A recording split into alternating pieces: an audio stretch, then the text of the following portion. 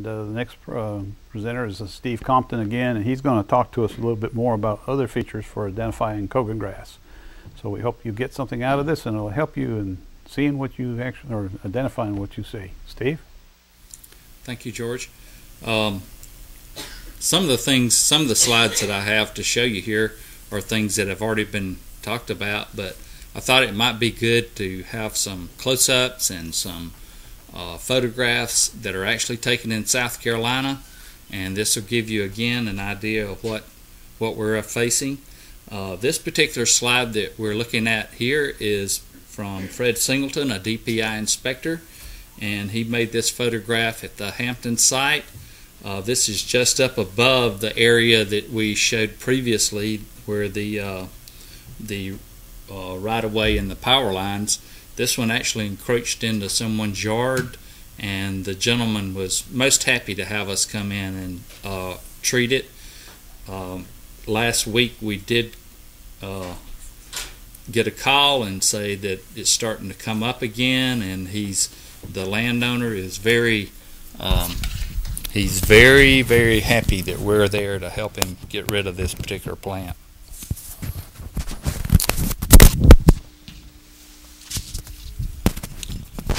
trouble with this microphone.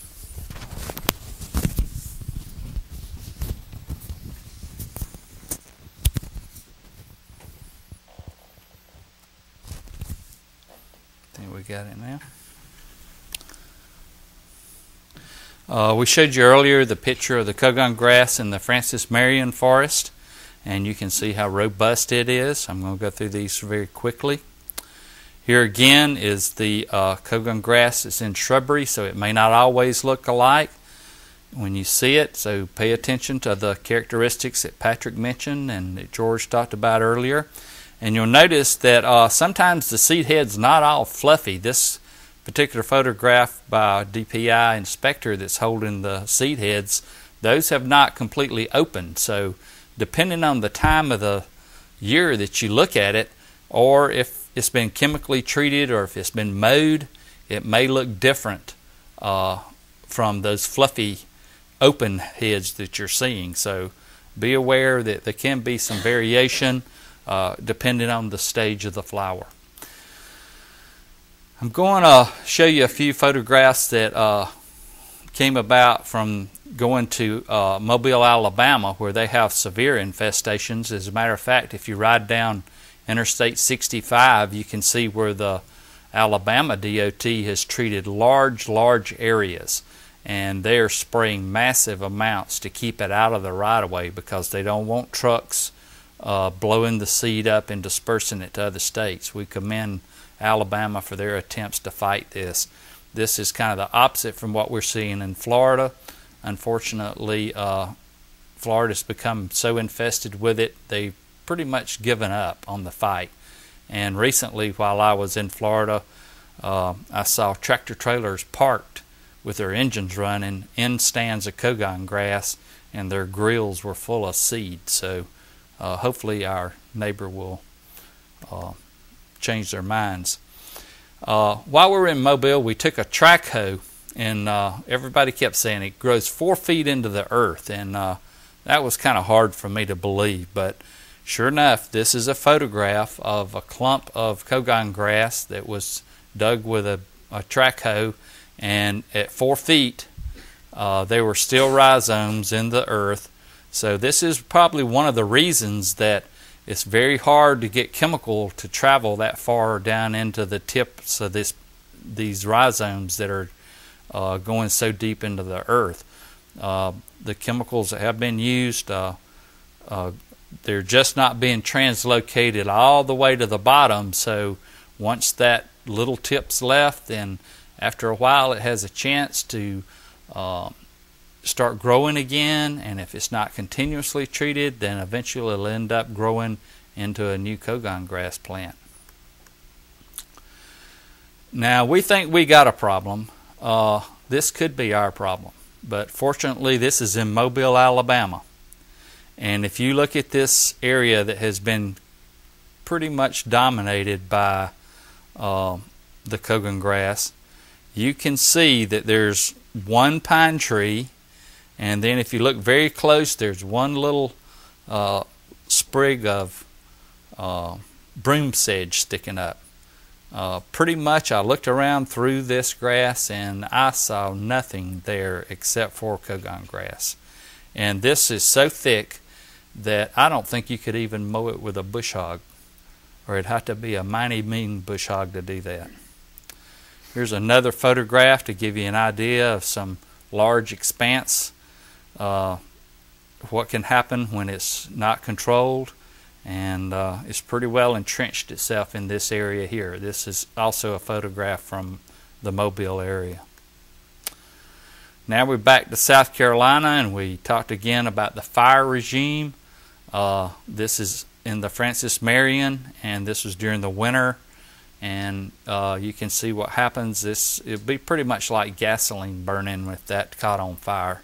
And again, uh, in the pine ecosystem there where the control burn is important to keep native plants and to keep the understory clean. Uh, it would be almost impossible to have a controlled burn fire here because if you did, you would destroy the trees. This is a close-up. This gives you a good reference. Having my, I took this one at the uh, where the trucks were parked uh, in Florida. Uh, this was right beside one of the tractor trailers that was running, but the seed heads were opening and they were starting to float around. And I put my hand in, in, the photograph while I took the picture to give you a reference of the size. So please note that because there are some uh, grasses out there that are uh, that have fluffy little heads on them, but they're they're not that big and uh, they're not quite that fluffy. So this is a good good photograph. It'll give you some references to the size of the.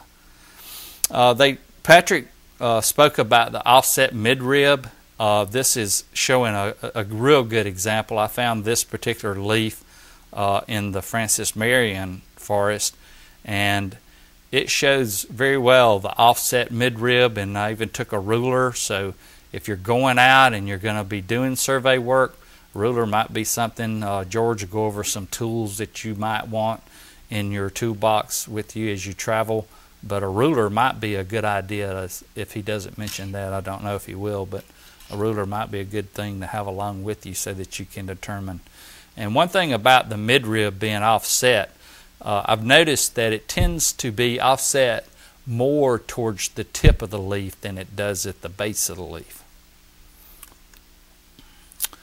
Uh, this is some of the chemicals that are required to do Cogon grass uh, control. Uh, this is actually in Mobile, and this was in the area that they were working on, and um, they were using uh, glyphosate and arsenal, and they were putting blue dye in it so they could tell where they had sprayed.